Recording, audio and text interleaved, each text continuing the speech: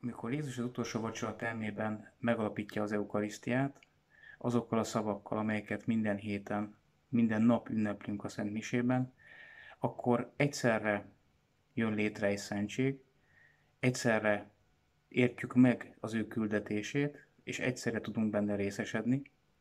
Ugyanakkor viszont a tanítványok tapasztalása lehetett az, hogy az ő közösségük is megerősödik.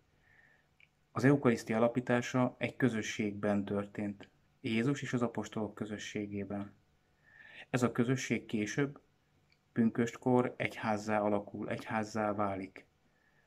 Krisztus egyszerre akarta az utolsó vacsora termében az eukarisztiát és az egyházat.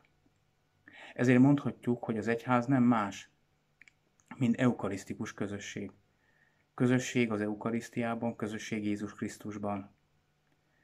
Ő tartja össze a számtalan különböző embert, a számtalan különböző nemzetből származó, a számtalan különböző nyelvet beszélő e, testvért egy olyan egységben, aminek a megváltásunk titka, a lényegi volta. Az ő megtestesülése, kereszthalála és feltámadása. Az egyház birtokolja a kinyilatkoztatást és a kinyilatkoztatás teljességét, Jézus Krisztust. Ez a birtoklás, ez a tulajdon, ez mégsem egy jogi értelmi dolog. Ez mégsem azt jelenti, hogy én uralkodom e felett, vagy hogy az egyház uralkodna e felett. Sokkal inkább jelenti azt, hogy Krisztus szavaival, a missziós parancsal együtt ezt az eukarisztikus közösséget egyetemessé szeretnénk nyújtani, egyetemessé szeretnénk tenni.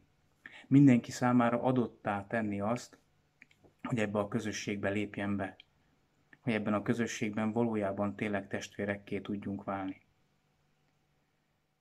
Az egyháznak ez a kezdeti feladata, amely az utolsó vacsora terméből forrásozik, pünköstkor nyeri el a valódi hivatástudatát.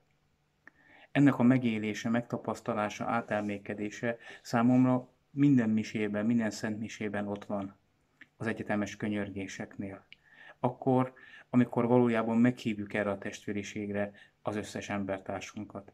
Ugyanúgy ott van e, a szent, az oltári szentség imádásában, amikor imádkozunk másokért, amikor valójában felajánljuk a mi imádságunkat, a mi imádatunkat, nem csak magunkért, szeretteinkért, hanem az emberiségért, önmagáért.